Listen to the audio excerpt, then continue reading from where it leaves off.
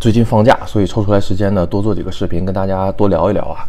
然后呃这两天简单的看了一下最近比较火的这个谢辉啊，跟大家说说谢辉。可能如果是新球迷的话，呃可能对谢辉呢不太了解，不太熟悉，但是老球迷，尤其是这个经常过去这个九十年代、两千年初经常看甲 A 的，或者是看这个。呃，德乙，德乙，我估计是没什么人看啊。但谢辉这个名字呢，应该是不陌生啊。谢辉他是有一部分的这个混血，然后呢，踢的是前锋。原来在这个申花嘛，后来常年是在这个德乙的这个俱乐部里面踢。在德乙呢，呃，我应该记得他是得过德乙的这个最佳射手，不是最佳射手，反正就是前三名的那种，呃。发挥的还不错，但是他的水平呢，始终没有达到这个德甲的水平。然后在中国队里面，国家队啊，也是属于这个边缘国脚，边缘国脚就是，呃，在一般的场比赛里面是可以代表国家队出场的，但是他呃踢不了首发，因为这个当时呃中国队的这个优秀前锋实在太多了啊，像什么郝海东啊、宋茂珍啊、李金羽啊、张玉宁啊等等等等。呃，像杨晨，你看他都踢这个在法兰克福嘛，踢是好歹也是个德甲。谢辉呢就是德乙的水平，呃，边缘国脚，所以这大概就是这个谢辉的，呃，他的这个职业生涯。然后退役之后呢，呃，执教过这个南通之云是吧？然后之前有个视频就火了，嘲笑这个上港啊，嘲就嘲嘲笑中超的很多球队。当时这个金元足球嘛，当时一个非常大的这个金元泡沫，我曾经就是好几次。视频里面就聊过，我说这个这个泡沫坚持不了三年，呃，结果果不其然啊，由于这个疫情一开始就导致了很多整个产业直接就垮掉了，所以之前中超吹起来的这个泡沫也就也就没了，烟消云散了。现在呃，所有的球队基本上都是紧衣缩食，很多球队呢，他连这个外援都没有了啊，连外援都没有了，然后还有这个欠薪的这个情况，所以呢，我们就看到了这个，只有等潮水退去了，我们才知道。谁在裸泳啊？呃，这种情况下呢，这个大连人呃本来就是比较拮据的这么一个这个俱乐部，把谢辉就请来了。谢辉呢，他的这个名场面就是在饭局上啊，就那个被大家呃怎么说呢？就他火起来的这个原因就是说，哎，给我压着打，咱们就压着打。进不了球，但是就压力打。你你你摇下那个队。跟我打，压着打，他两个亿叫叫什么徐正徐正元了，什么乱七八糟，压着打。不懂球，没没对，哥你来来来来来，我就是要把接打来，哥们打出原形，就是啥是吧？当龙子原形，龙龙本原形。结果大连人我们也看到了，在中超前几轮吧，六轮比赛还是七轮比赛拿到了九分，有胜有负，但是他前几轮。表现的一直非常好，他输的一场没办法，因为那个打那个山东鲁能，鲁能确实也是这个冠军的热门，而且人家有三个外援。大连人这边全华班真正真正的实现了这个全华班，然后在全华班里面，他肯定是踢的这个场面是踢的最好看的，踢的有拼劲儿，让大家看到了希望，相当于是拿这个。中甲的班底去踢中超，本身大连人就是递递补这个候补上来的，他已经是上赛季已经是降级了嘛，结果候补一上来，哎，这个捡了个便宜，但是现在发挥的是非常的不错啊，让人感觉哎焕然一新的这种感觉，这那个呃要感谢这个谢辉，然后谢辉的呃我们都说谢辉啊就压着打。有没有道理呢？呃，其实有这么几个原因啊。我们都知道，这个压着打，说白了就是足球，呃，战术里面的高位逼抢。我们看这个利物浦啊，它就是高位逼抢，呃，做的最极致的那么一个球队。高位逼抢这个这个事儿就是什么呢？呃，你在场上踢球的时候比别人勤劳，就跑的比别人多，抢的比别人凶，让。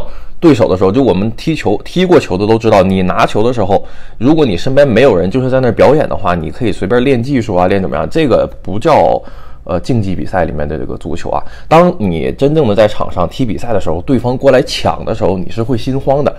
在这种情况下，很多人的原本的他练的那些小技术都发挥不出来。所以呢，就是在高压之下的这种比赛才能叫做足球比赛。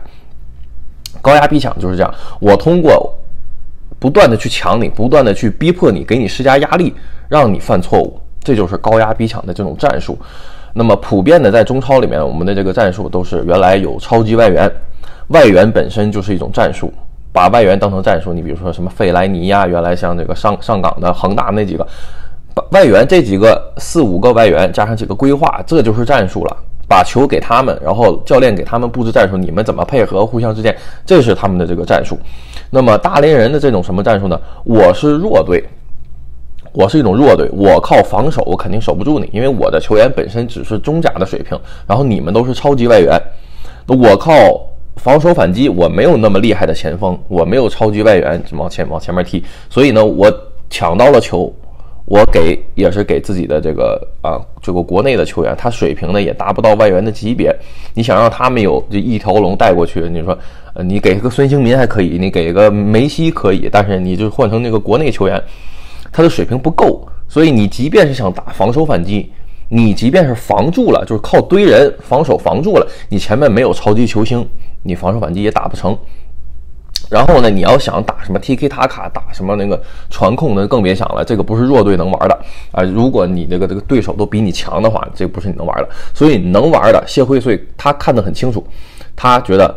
呃，他的战术理念，你看他一直是执教这个水平比较低的，就低级别联赛啊，这是首次啊，大连人这是首次执教这个中超，他把他的战术哲学、战术理念输入到了球队里面，就是什么样的高位逼抢，就是我唯一能做的，这么我能力不行，我的水平不行，我就怎么样，我直接骚扰你，我就给你能够制造多大的麻烦，我就制造多大的麻烦。防守的时候，就我跑我我踢不过你，我还跑不过你嘛？啊，这就是谢辉的这个战术嘛。而且他本身就是前锋出身，前锋出身他的这个进攻属性就比较强，哎，看起来呢就好看。他带着球队踢出来的足球踢的就很好看。这如果要是给谢辉几个好的外援，那我估计就要起飞了。还有一个很大的原因，大连人为什么能这么踢啊？你像其他的这些球队，他为什么模仿不了？像很多强队，你像鲁能啊，像像这个什么国安呐这些。为什么这些球队他不能模仿大连人？呃，大连人这么踢也是无奈，无奈之举。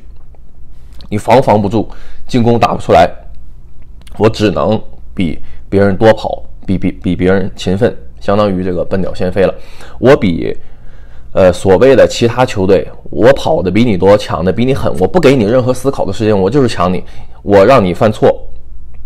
你犯了错，我抢下来，我就可以打我的战术了啊！至少，怎么怎么样说呢？我即便是中甲的水平，你对吧？你当你慌张的时候，你也是会犯错误的，也是有漏洞的。我就逼你犯错误就行了，我不需要。然后进攻的时候，我打的简单一些啊，呃，比如说我踢十脚，我进一到两个球也是可以的，是不是？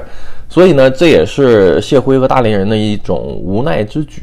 无奈之举，你让他打其他的战术，还真没有特别合适大连人的。所以现在，呃，大连人只能通过不断的高位逼抢，来呃给自己留在这个中超这个平台上。